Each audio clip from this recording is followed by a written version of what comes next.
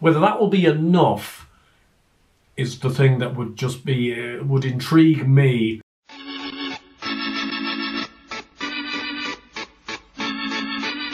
Hello and welcome back to the Let's Talk Racing YouTube channel in association with Racing TV. This is looking a little bit different to the normal setup and that is because it's Super Saturday. When you're watching this at 9 o'clock, this was recorded, I'd say 5 a.m. your time. That is Meydan Racecourse, the first time I've been here. I'm going to be vlogging my experience of Super Saturday racing. I'm a Warwick man, I'm a Uttoxeter, I'm a Stratford man.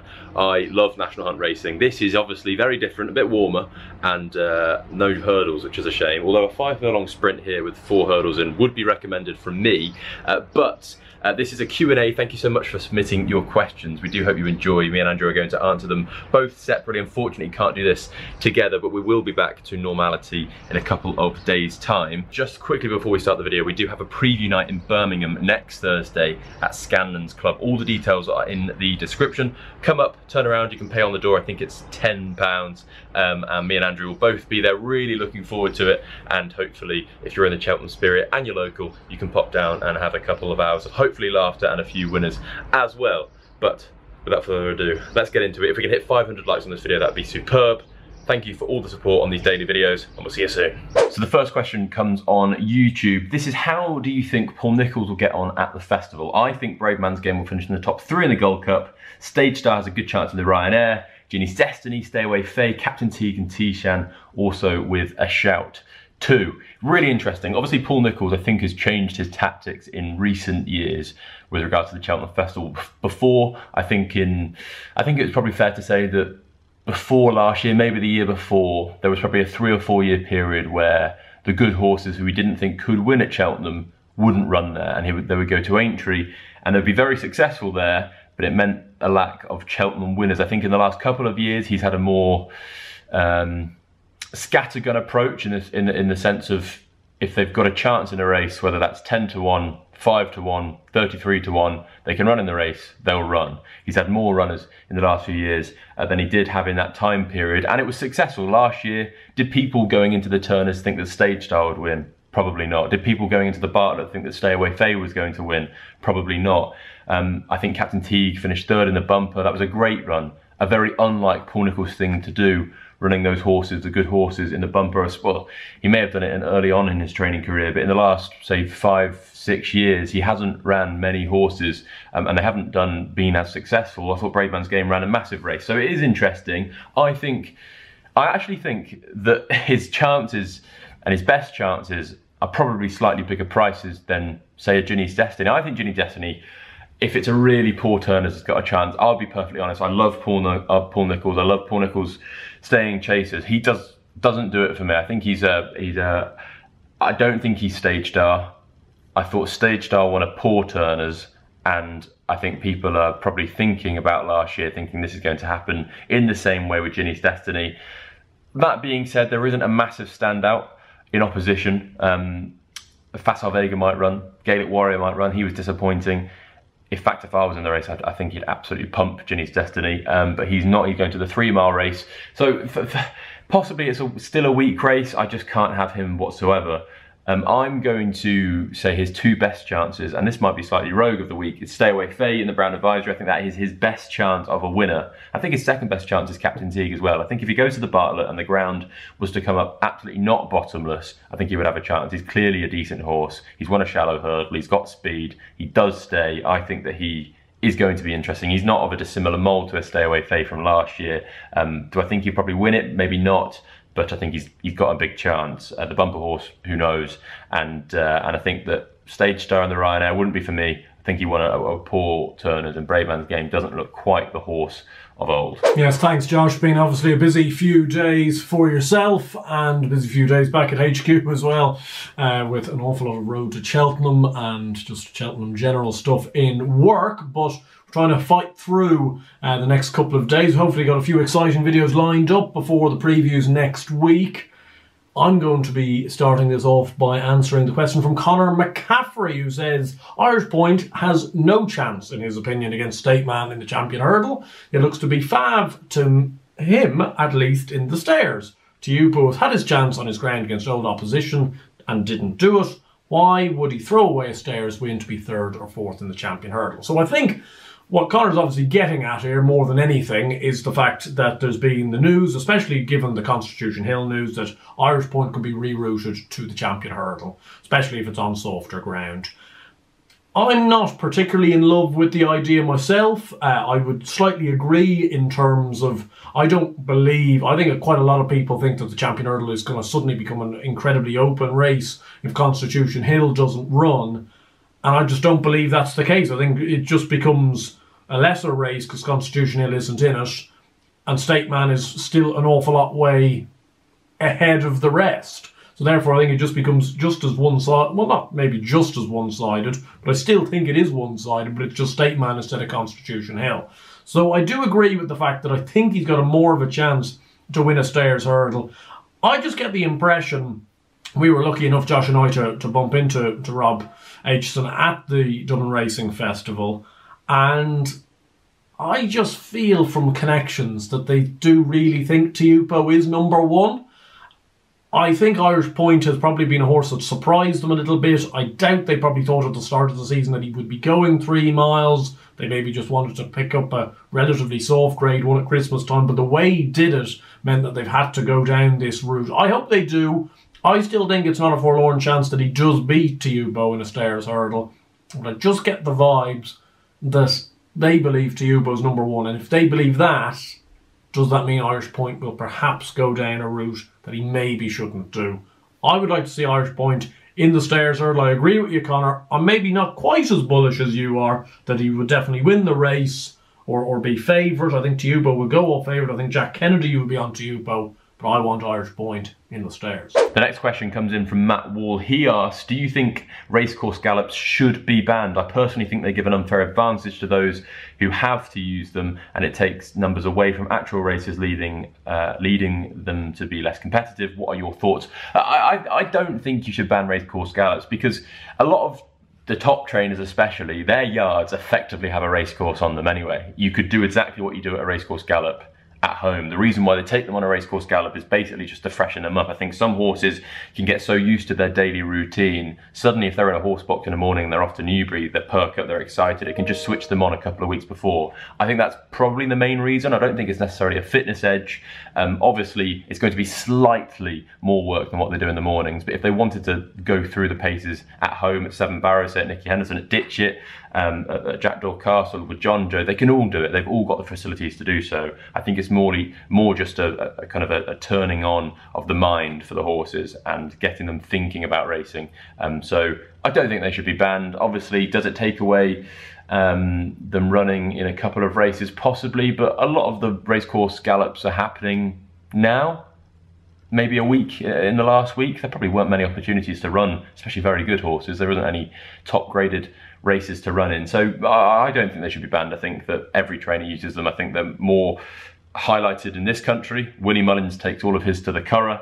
Um, I'm pretty sure Gordon Elliott does something very similar. Um, and all of those big trainers will take their horses away a couple of weeks before the festival. That's just kind of a routine. I don't think they're much reading into it. I think it's getting to the stage now where I'm waking up in relatively cold sweats thinking about Ballyburn and his Supreme slash Ballymore targets, what that will influence the Cheltenham Festival markets. It's on everyone's lips at the moment, and it is on Dean Crozier's lips, who asks, Do you think Ballyburn's decision rests on what Paul Townend wants to ride? I think he wants to ride Ballyburn and Il Atlantique, so Ballyburn will go to the Supreme. I think that's a very fair point. I think it's an underrated point in terms of, I think, what Townend is going to be on in each race does hold a, a big key into how they're separated. I think what will be the, the interesting thing and what will be probably to the, well, not detriment, but to the advantage of one horse uh, other than the other is Townend's probably in a situation where he's going to have to make the judgment call. Does he want to ride Tullyhill or does he want to ride in Atlantique? If he rides in Atlantique, you would think Ballyburn is in the Supreme. Ballyburn is in the Supreme, then he doesn't ride Tullyhill. If he rides Tullyhill, Ballyburn's in the Baring Bingham.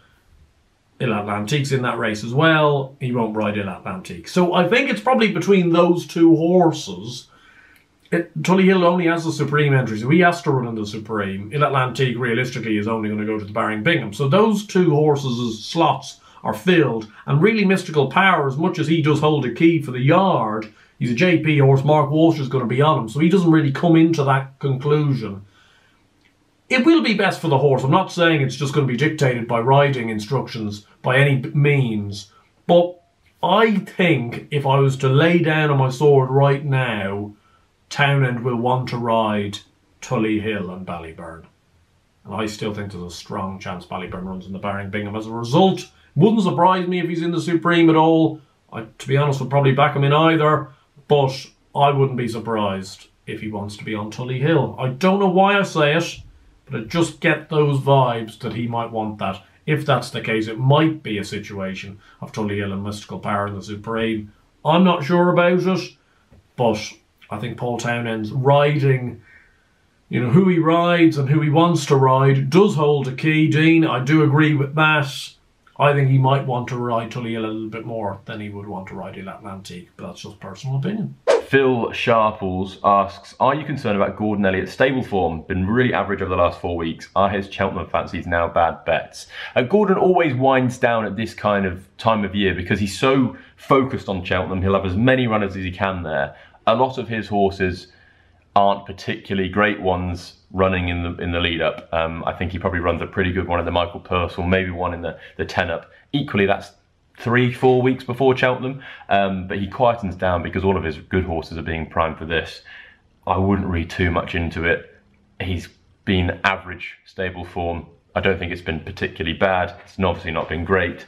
I think that his horses, if you fancy them, still going to have massive chances. Jonathan Morrow asks, what do the guys think of the reduced mark of Milantino who's been given 126 for the Boodles good graded triumph form. JP plot he's going on about. Um, it's been a very interesting one. I think he's been very leniently handicapped. There's no getting away from that. Uh, obviously, coming down from an initial English rating he was given, I think was 136 uh, before he ran in the November meeting, which did seem steep. Uh, 126 probably seems lenient. He's probably somewhere in in the middle. I think he's a decent chance. Uh, I think he's a horse that probably does have four or five pounds up his sleeve. Whether that will be enough is the thing that would just be uh, would intrigue me. Is one you know is having four pounds in the locker going to be enough to win a Boodles when there could be a horse in there with eight pounds, ten pounds in the locker? I'm not so sure. He seems a solid horse.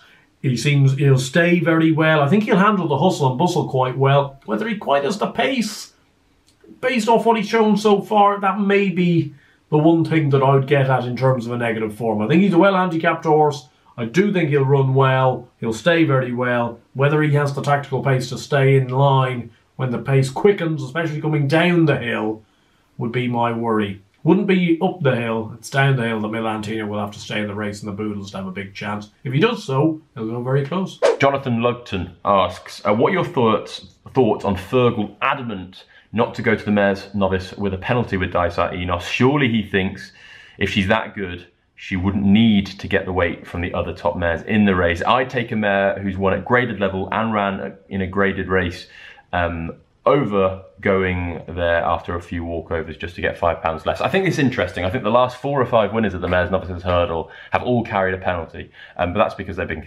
contesting really top quality races throughout the year. It's a it's a fascinating race.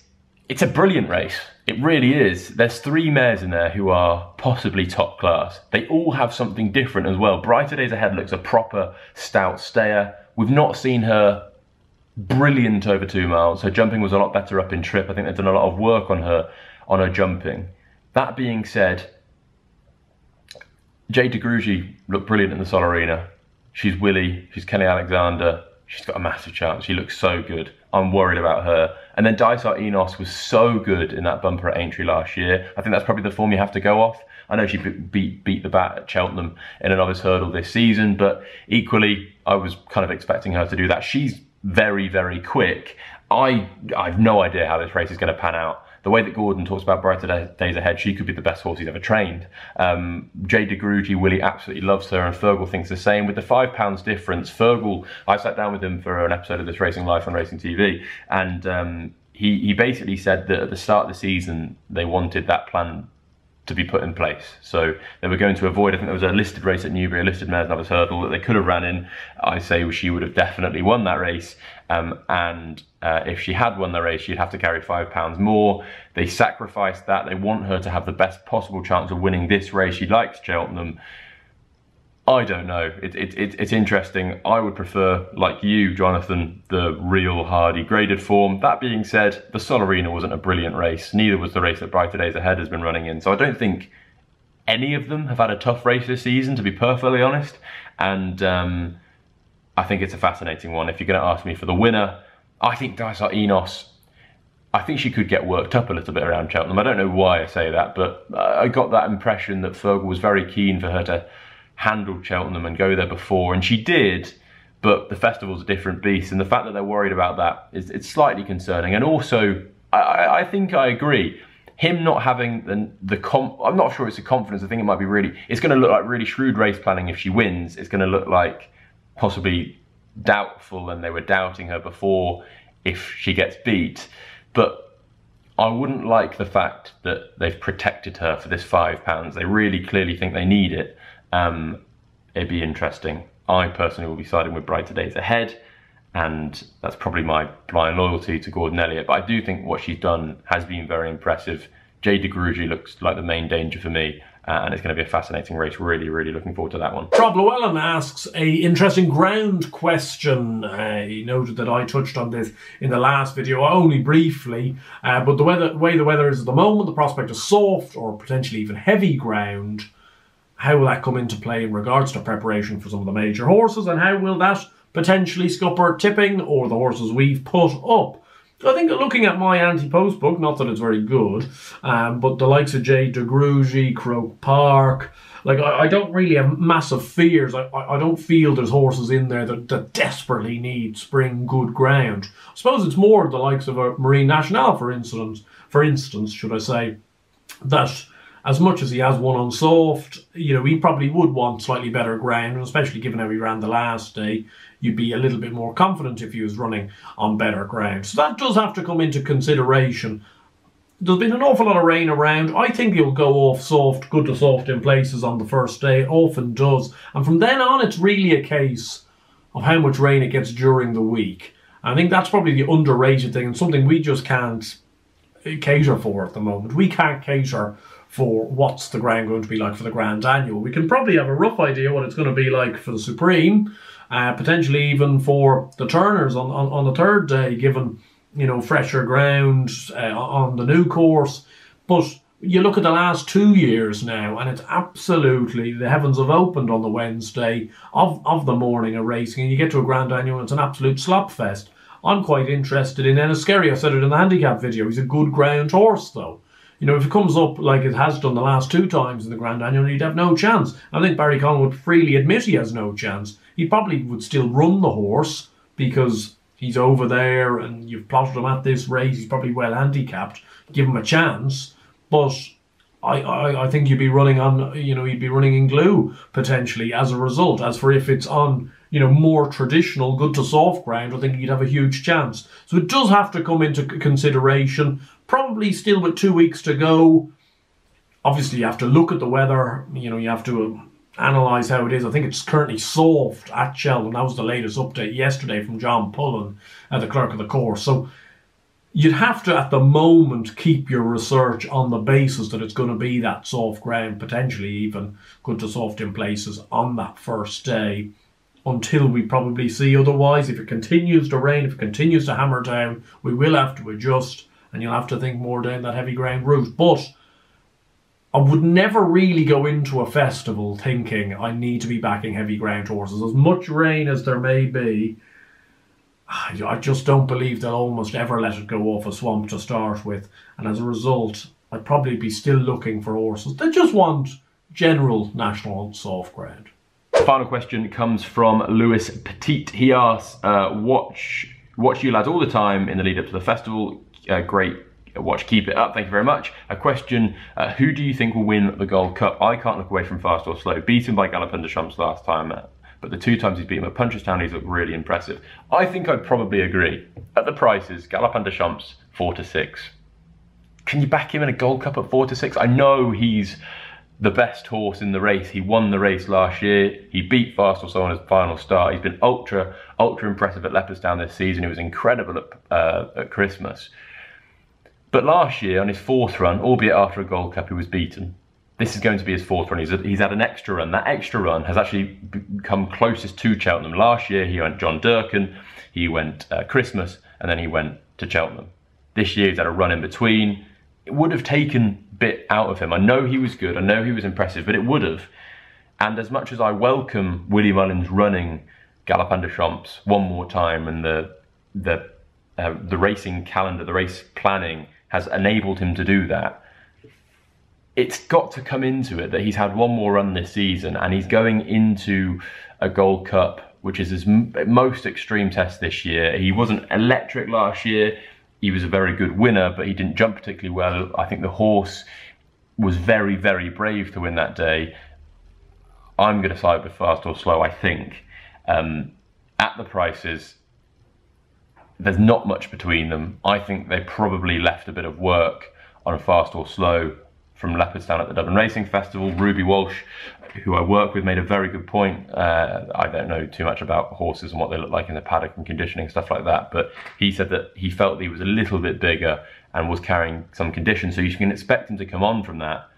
I'm going to go with with Fastorslow. I think um, I couldn't get stuck into Galopin Des Champs at the price that he is, and uh, I think you'd have a very good run for your money with Fastorslow. So that's my angle there in the Gold Cup. Final question I'll be answering comes from Magic Hand, who says, What's your strategy for the week?